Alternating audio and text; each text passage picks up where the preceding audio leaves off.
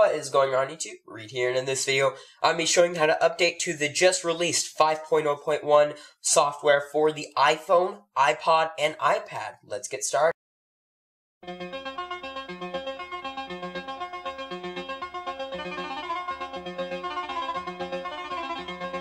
So like I just mentioned there, iOS 5.1 has been in beta for a few weeks, and now it has been released to the general public. Now, to update this, you can do it via iTunes, but if you're running the, the current iOS 5 software, you can update this to the software um, right from your iDevice via the new feature uh, that was on iOS 5, which is software update via your settings. So the first thing you want to do is make sure that you have over 400 megabytes on your iDevice in storage. That it's in storage. Make sure that you have um, about 500 megabytes available. And how you can tell, easy feature to tell, go into general, click on usage, and you'll see right there how many megabytes you have available. Now this will affect if you can update or not, so make sure you are over, good over, about 435 megabytes.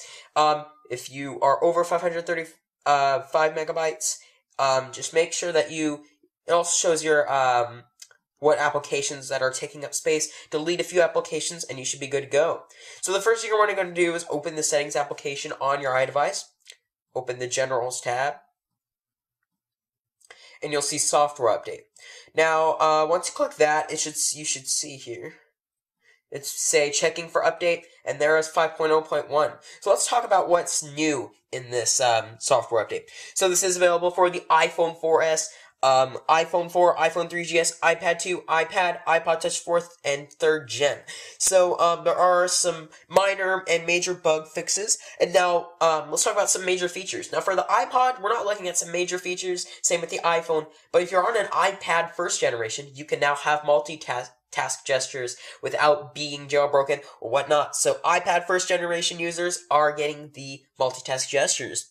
Next, um, it removes some iCloud bugs or some general bugs that were within the iCloud application. If you're an Australian user, they fixed a couple things for you as well. So to update, we're just going to go ahead and click download and install. Now, at this point, I am going to um, fast forward through this. Just going to skip through it just to show you um, in a kind of like time lapse kind of way how uh, this whole process. Because I don't want to just sit here for about like 15 minutes and just ramble on about anything. But let's get on and click download and install. Agree here.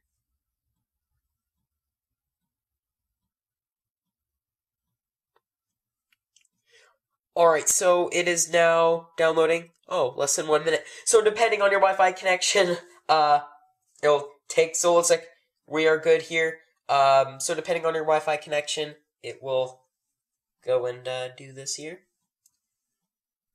So we're almost 50% of the way of the downloading process. Alright, so it's now finished. We just got a notification. Um, so let's click install here.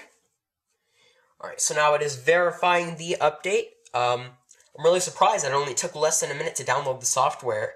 Um, I've had trouble updating with iTunes before, so this is really good. Apple, you guys, saved me a lot of time. Less than a minute, about 50 seconds to do the download, but I guess it will vary on what Wi-Fi connection you're on, how strong it is, how fast it is. So let's, uh, so it is now verifying the update. And looks like our iDevice is turning off.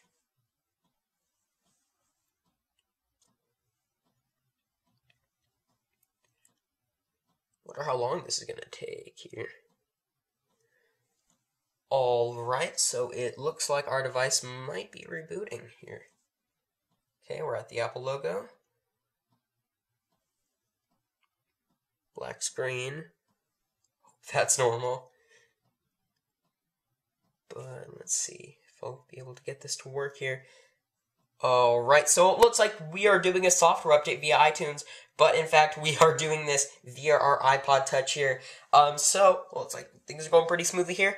Um, so this is what you basically see when you do an up update via iTunes. So very cool. So they kept the default screen for everything. So it looks like it's going to go through some installing processes. Um, when this is done, we will dive into the settings and take a look at some uh, some cool stuff in iOS 5.0.1. So uh, let's just uh, skip on ahead here. All. Alright guys, so iOS 5.0.1 has finished installing on my iDevice. Um, it just rebooted here. And uh, one thing I noticed right off the bat, it seems like just a little bit smoother to me, just a tiny bit smoother. Um, my, now, that might just me, but it does seem a little bit smoother.